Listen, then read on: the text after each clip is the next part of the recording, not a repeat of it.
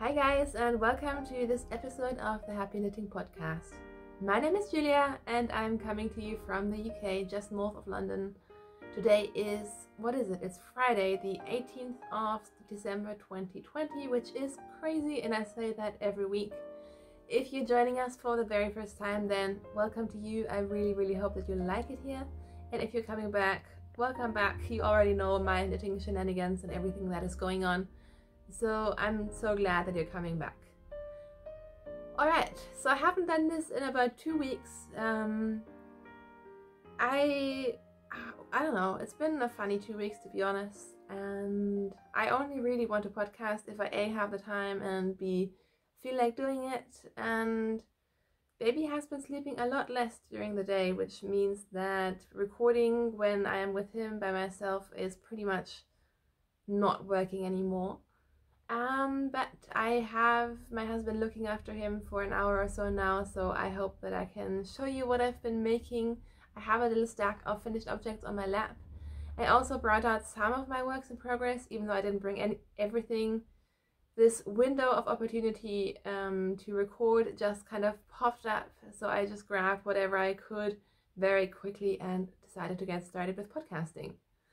Before I start with my finished objects, maybe you'd like to know what I'm wearing today. Um, this is a sweater that I've actually been wearing a ton.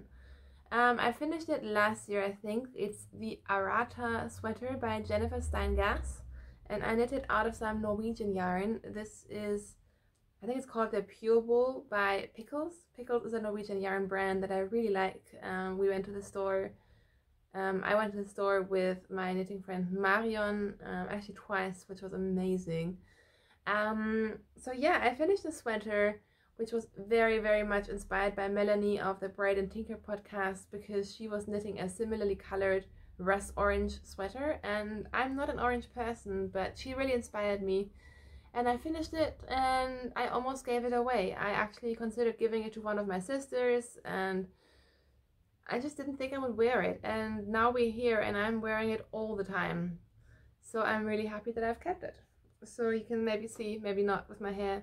It is a color work yoke and it is just so comfy. The yarn has held up really well. There is of course some pilling because I've just been wearing it so much. Sorry, the postman was just outside and I'm sitting in basically in my bay window right at the front of the house so it's always really really awkward to be recording and it gets very very sidetracking. Anyways, um, what have I finished? Most excitingly, I have finished these socks and they have been on the needles, believe it or not, since August because I started them when I was still pregnant, very, very pregnant and living at my parents' place.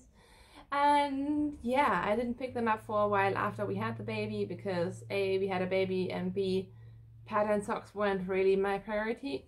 But I have finally finished them, um, so I'm very, very happy about that. Um, these are the Birds of a Feather socks. And I used leftovers for the entire pair of socks, which is very exciting. So both the grey and the pink uh, were used in my West Mystery Knit Along shawl for 2019. Um, they are both uh, Malabrigo sock yarn, which doesn't have any nylon, so I have mixed feelings about that. But I figured I'll just use them up and they're just such pretty colors. So that worked out pretty well because I had some sizable leftovers from that shawl. And then I used a mini, which I believe is from Das Mondschaf for the heels. So at least the heels have some nylon in them. Logically, I probably should have also put a yarn with nylon for the toes, but I really wanted to have that pop of pink. So we'll just see how they wear and I can keep you updated on that. So they're done. Very, very happy about that. Next up, I also finished my baby sweater that I was knitting on last week, or last time I recorded, I should say. This is a modified version of the flax sweater by Tin Can Knits.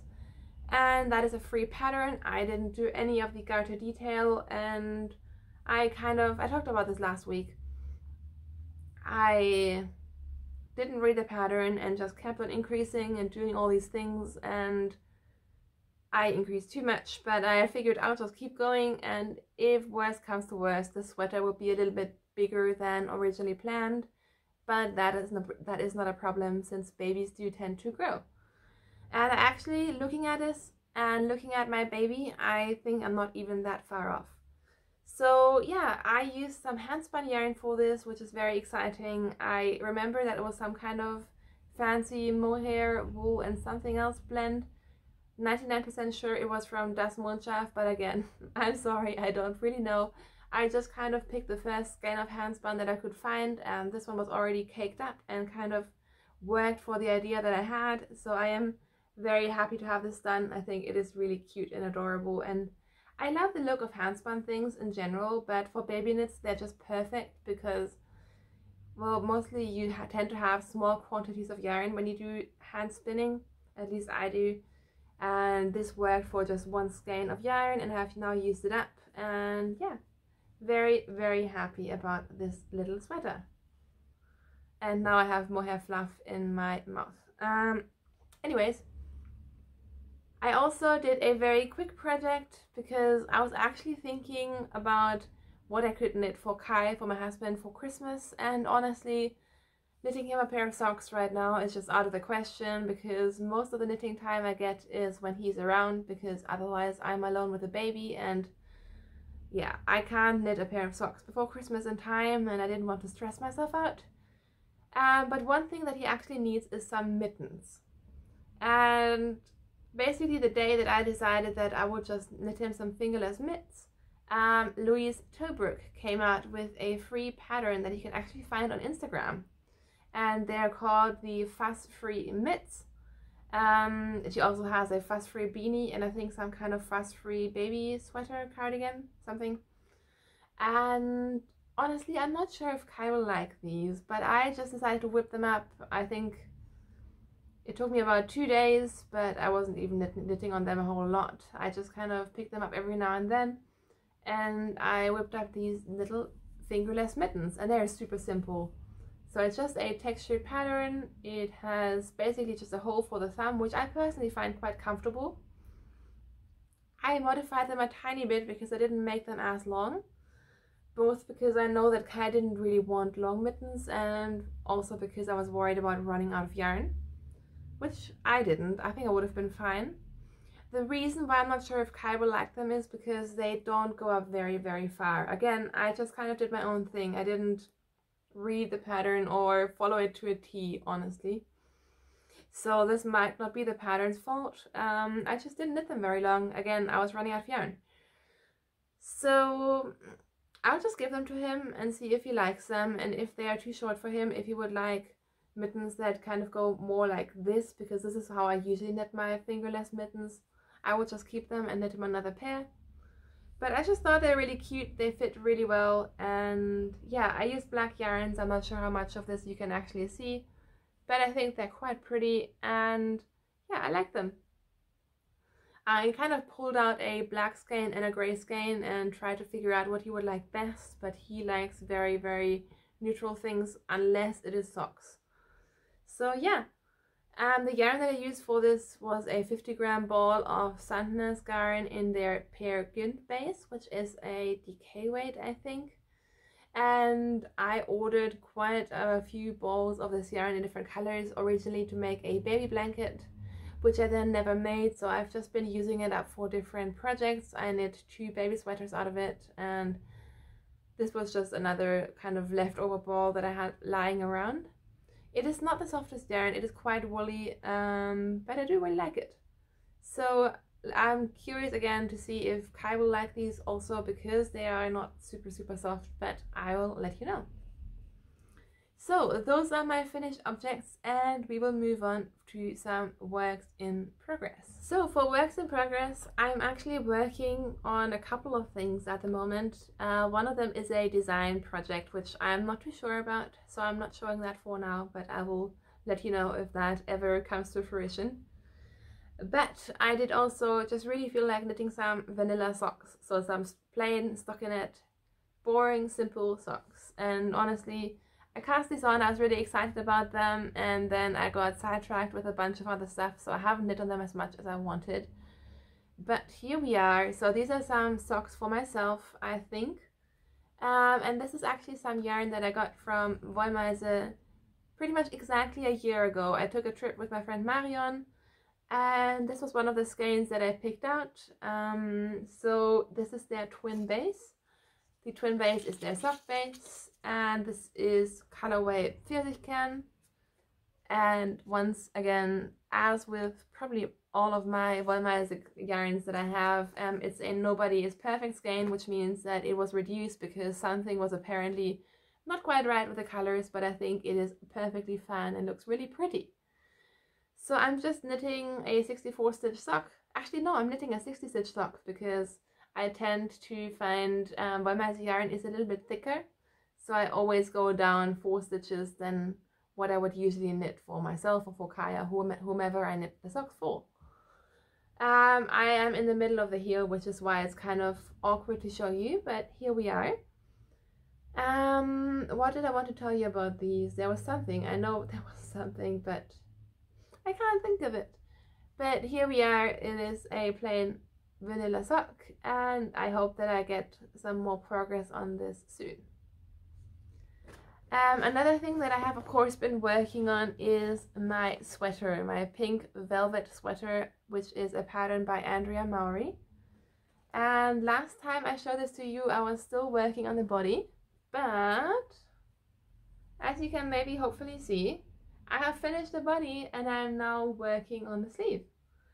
So I think I already, every time I show this to you, I keep on going on about how excited I am about the sweater, how much I love it. And honestly, nothing has changed. Uh, I tried it on the other day for the very, very first time. And it fits like a dream. So I kind of told Kai that once the sweater is done, he will most likely not see me wear anything else for quite a long time. And he was like, well, it looks like, it looks like the sweater you're wearing now, which was this one except it's not orange. And I mean, it is different, obviously, but to someone who doesn't knit, I can definitely see that it just looks like I'm, I'm wearing a different colored yoked sweater every day now. Anyways, I really still love it. It fits like a dream. So I have started the first sleeve. I'm not sure if I'm going to be able to make full length sleeves because I am very, very limited on my amount of yarn. I think I had about 70 grams of yarn for both of the sleeves so 35 grams each. So I'm just knitting and measuring as I go uh, and we will see how it goes. If they are sort of like this sweater, this one again I was playing yarn chicken. This always happens to me. I don't buy enough yarn because I don't want to spend the money on an extra skein and then I have three quarter length sleeves on my sweaters, which is fine so yeah, we'll see how it goes, but I am very happy with this so far. And yeah, I have definitely fallen down the Brooklyn Tweed rabbit hole because this is Brooklyn Tweed Loft, I believe. It's the thinner weight. Let's see. Yeah, Brooklyn Tweed Loft. It's my first time knitting with this yarn, which is quite a splurge to be honest. But I now realize why a lot of people like it because it is just such a scrummy beautiful yarn. It works well with the color work because it's woolen spun and just all these flecks of colors. I'm not sure if they show up on screen, but it is a really, really beautiful color. So yeah, that is my sweater. And then the last thing that I brought to show you today is of course my advent blanket. So I was going to say, let's see how I can show this to you without dropping my crochet hook, but that has just happened. So anyways this is my advent crochet project. So this is what this is what it looks like at the moment.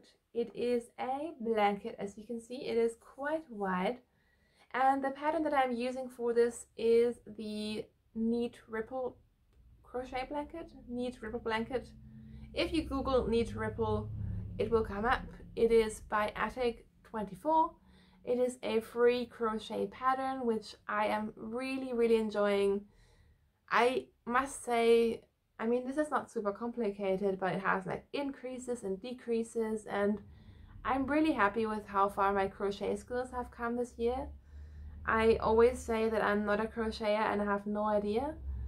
And I'm feeling like that is slowly and very, very slowly um, changing. I actually have some fun crochet plans for Christmas, which I'll talk about another time.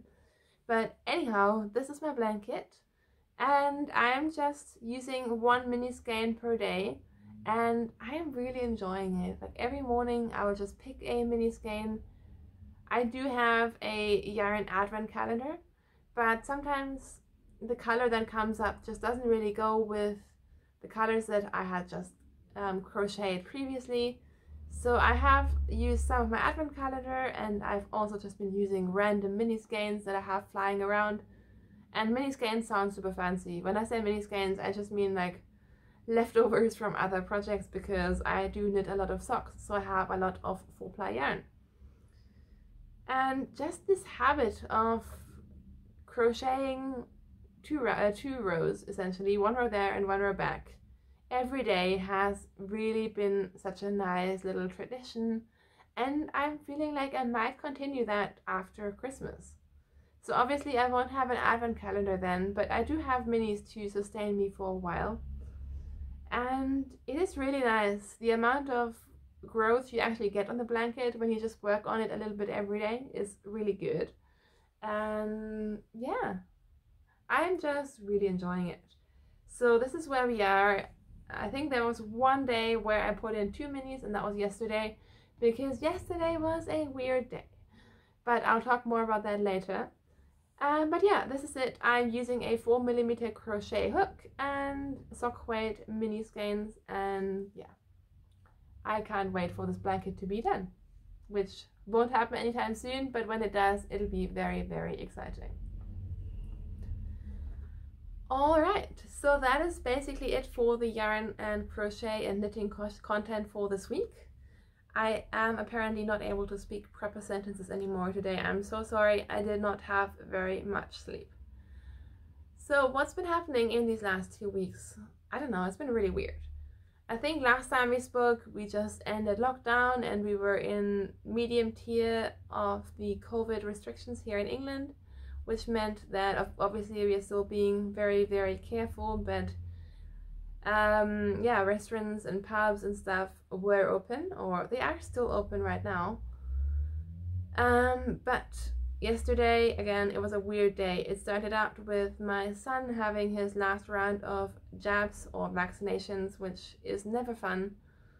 Um, then my laptop broke, which I had anticipated that to happen for a while, so it wasn't a big surprise, but still really, really annoying because it just it's been doing that thing where it just switches off and it's nothing to do with the battery and then you can't turn it on again until at some point it decides now I'm I'm ready again and then it turns on again and sometimes it turns on again for five minutes sometimes it works for an entire day you don't really know but yesterday it really properly died um, so there was that. And then while I was kind of researching new laptops, because obviously I need one, we found out that we are going into COVID tier 3 restrictions, which means that everything will be closed again except for takeaway.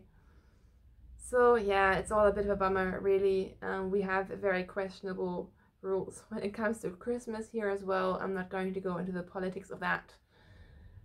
But yeah, it was a weird day. It was a day where I was like, okay, I'm going to do two rows of crochet today with two colors because I just need the crochet. I think I didn't even pick up any knitting needle until very, very late in the night.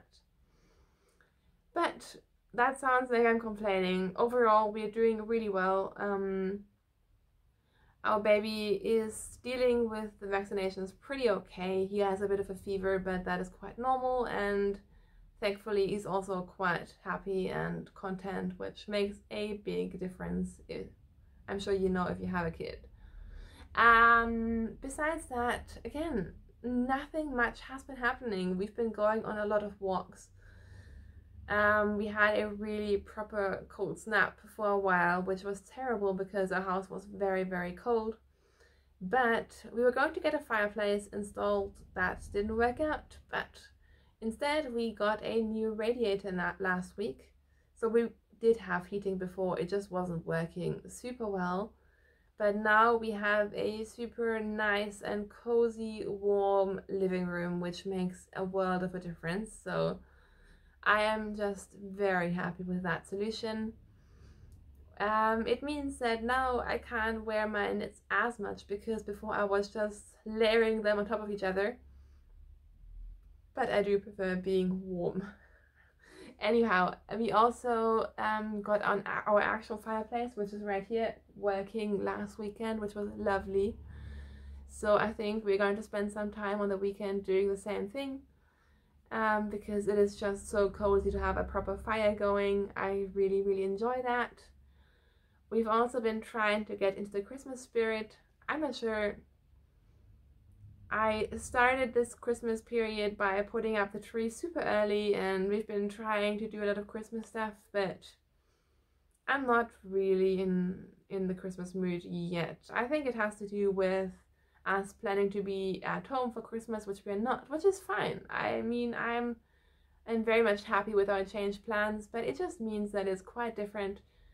But nevertheless, we have been trying uh, mince pies. We are going to make a turkey this weekend because because we are.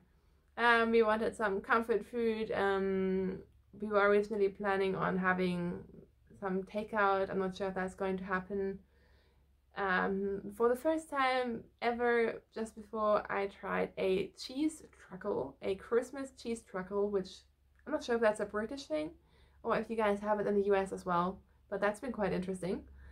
Um, so yeah, so we're just trying to do like little Christmassy things um, to both get in the mood for Christmas and to kind of experience what Christmas might be like here. Um, and yeah, that's that's basically the plan for the weekend and going forward. Um, I'm really really excited that Kai has just finished a huge project at work, so he still has a couple of days to work, but he will have much more time, which will be nice.